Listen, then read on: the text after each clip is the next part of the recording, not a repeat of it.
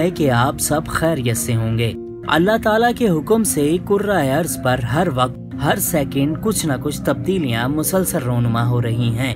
इन तब्दीलियों में से बाज को हम बासानी देख सकते हैं, जान सकते हैं और महसूस भी कर सकते हैं। जबकि बाज अर्जियाती तब्दीलियाँ इंसानी अक्लो होज से बालातर हैं, जिन्हें हम जान नहीं सकते। आज हम अपने नाजरीन के लिए ऐसी ही मुनफरिद मालूम लेकर आए हैं जो शायद आप पहले नहीं जानते होंगे।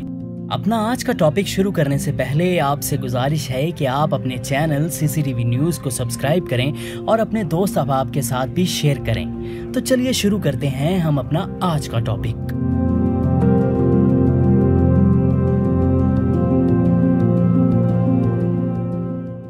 अल्लाह ताला हमें अपनी किताब कुरान मजीद में बार बार तलकीन करते हैं कि ऐ इंसानों, मेरी तख्लीक करदा कायनात पर तहकीक करो। क्योंकि मैंने तुम्हारे लिए इसमें बहुत सी निशानियाँ रखी हैं। क्या आप जानते हैं कि दुनिया में कुछ ऐसे मकाम भी हैं जो कदीमी नहीं? मतलब कि उनका वजूद दुनिया के बनने के वक्त वजूद में नहीं आया, बल्कि हुक्म रब्बी से महज सौ से डेढ़ सौ सालों में जहूर पैरा हुए।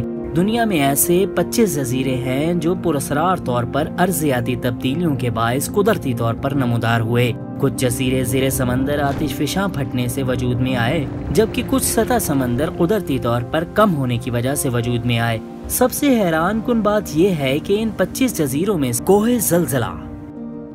पाकिस्तान में पुरस्कार तौर पर नमदार होने वाले दो जजीरों में से एक जजीरा 2013 में जलजले के बायस गवादर के साहिल के करीब समंदर में पुरस्कार तौर पर नमदार हुआ।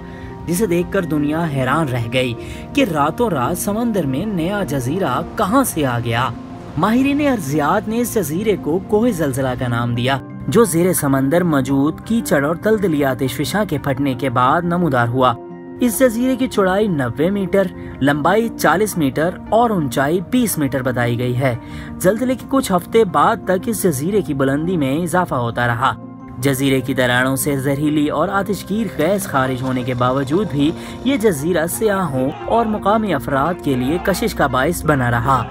जजीरा तकरीबन छह साल तक नमदार रहा और अब मुकम्मल तौर पर समंदर में डूब चुका है।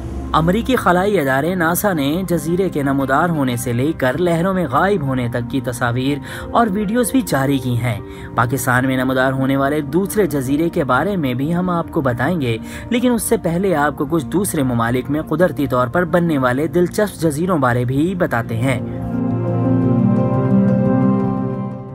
अमरीकी रियासत नॉर्थ कैरोलिना शैली आइलैंड नामी जजीरा अमरीकी रियासत नॉर्थ कैरोलिना में 2013 से नमदार होना शुरू हुआ और अभी तक ये जजीरा बढ़ता ही जा रहा है।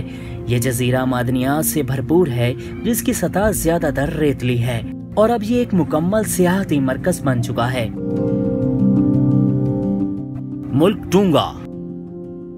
रियासत टूँगा में भी अब तक कुल चार जजीरे नमू पा चुके हैं, जिनमें भूँगा टूँगा जजीरा 2009 में नमदार हुआ और इसका हजम 2014 तक फैलता रहा। बाद अजा ये जजीरा समंदर में गायब हो गया। इसी तरह होम रीफ नामी जजीरा भी टूँगा रियासत में ही उन्नीस और फिर 2006 में वजूद में आया।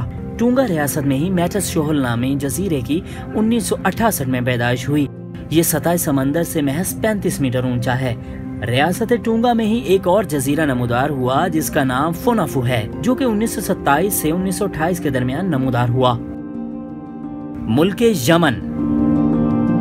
जदीद आइलैंड नामी जजीरा मुल्क यमन में 2013 में नमोदार हुआ, और ये सतह समंदर से 627 फीट बुलंद है, जो कि आतिश फिशा फटने से वजूद में आया। यमन से मुंसलिक समंदर में कई और भी जजीरे नमोदार हो चुके हैं। शूलन आइलैंड नामी जजीरे की पैदाइश भी मुल्क यमन के ही समंदर में 2011 में हुई। इसकी ऊंचाई एक सौ इक्यानवे मीटर है। जापान। मुल्क जापान में भी चार जजीरे पैदा होने की इतलात हैं, जिनमें जजीरा नशीनोशिमा शिंटू जापान के साहिल समंदर के करीब कई बार पैदा हो चुका है। सबसे पहले ये सन 1973 से 1974 में पैदा हुआ, फिर 2013 से सन 2015 के दरमियान पैदा हुआ। माइजिन शू नामी आइलैंड भी जापान में ही वाकिया है, जिसकी सतह पथरीली है और ये 1946 में वजूद में आया। बाद अजा ये गायब हो गया और फिर उन्नीस सौ बावन से उन्नीस सौ तिरपन के दरमियान वजूद में आया। छोटे बच्चों की बोली जैसा नाम फोकू टोकू उका नाबू जजीरा भी जापान में ही नमोदार हुआ। जापान ही में एक और जजीरा समंदर से नमोदार हुआ, जिसका नाम शौवा लाओ जीमा रखा गया। हुजम के लिहाज से ये जजीरा इंतहाई छोटा है। ग्रीनलैंड। बर्फ़ से ढका ये मुनफरिद जजीरा, जिसका नाम है ओनारटुक के करटक ग्रीनलैंड में वाक़ है, जो 2005 में वजूद में आया। इस जजीरे तक पहुँचना नहायत ही मुश्किल है। इसके बावजूद ये एक मुकम्मल सियाती पॉइंट बन चुका है और हर साल सयाह इस जजीरे का रुख करते हैं। जर्मनी। नॉर्थ सैंड नामी जजीरा जर्मनी में वाक़ है और ये 1999 में नमोदार हुआ था। इसकी सतह काफ़ी हद तक पथरीली है और ये शहरी आबादी के बहुत करीब है। Solomon island.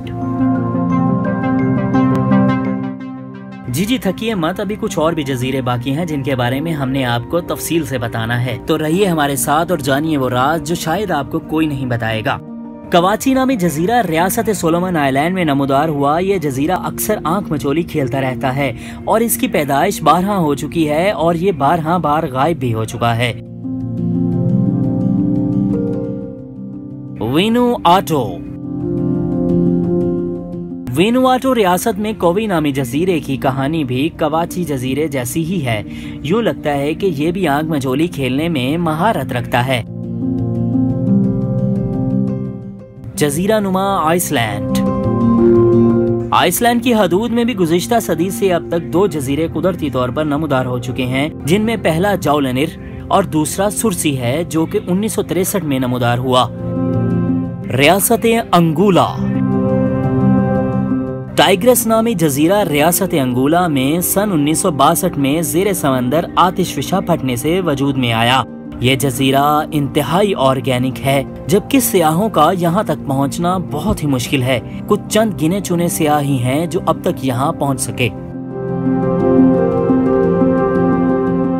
कनाडा।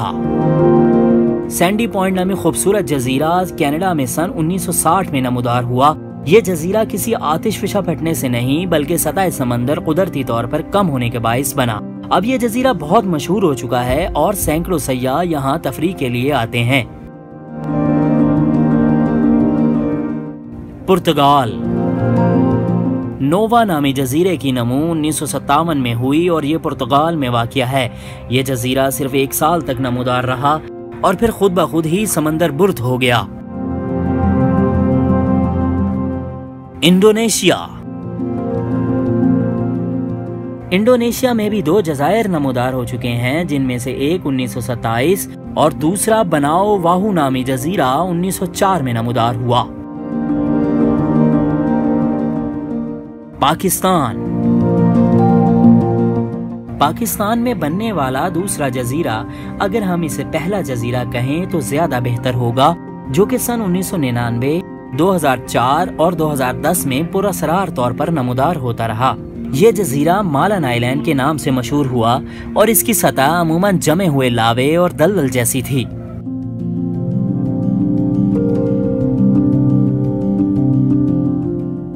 उम्मीद है कि आपको सीसीटीवी न्यूज़ की ये वीडियो पसंद आई होगी।